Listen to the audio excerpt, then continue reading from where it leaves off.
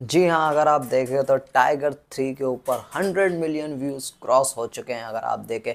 मैं बात कर रहा हूँ टाइगर थ्री के ज़बरदस्त धांसू धमाकेदार ट्रेलर और साथ में टाइगर थ्री का मैसेज यानी कि टाइगर थ्री के टीज़र की। जी हाँ अगर आप देखें तो काफ़ी बढ़िया अगर आप देखें, देखने को मिला था टाइगर थ्री के टीज़र पे भी रिस्पांस और ट्रेलर पे भी। हम बात कर लेते हैं टोटल व्यूज़ की। तो अगर आप देखेंगे तो फ़िलहाल करंटली अगर आप देखें तो टाइगर थ्री के ट्रेलर पे 64 मिलियन व्यूज़ है in total 64 million in total में सिर्फ़ एक हिंदी भाषा के ट्रेलर की बात कर रहा हूँ ओनली बाकी दूसरी भाषाओं की बात कर ही नहीं रहा हूँ। 64 मिलियन सिर्फ़ हिंदी की बात कर रहा हूँ हंड्रेड मिलियन क्रॉस करने की। तो 64 मिलियन देखने को मिले हमें।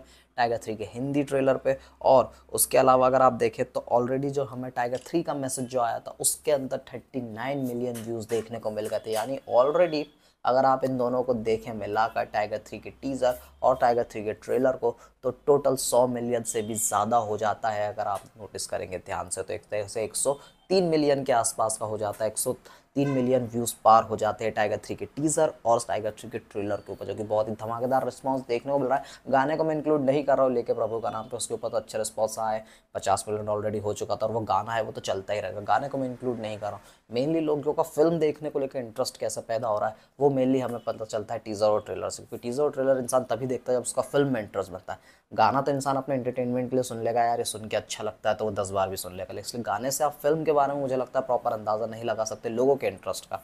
लेकिन टाइगर थ्री के टीज़र और ट्रेलर इन दोनों से बिल्कुल अंदाज़ा लगाया जा सकता है तो काफ़ी बढ़िया लग रहा है। हालाँकि मैं कई सारे यूट्यूबर्स को देख रहा हूँ बड़े बड़े जो हमारे यहाँ के सबसे बड़ी रिव्यूअर मानी जाती हैं।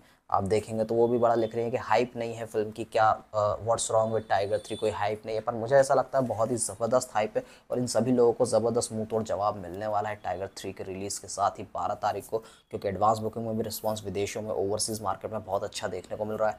पाँच तारीख की बात है, सिर्फ़ तीन दिन का वक्त बाकी है। हमें देखने को मिल ही रहा है टाइगर थ्री की एडवांस बुकिंग इंडिया में भी। फिर पता चलेगा कि असली धमाका किसे कहते हैं।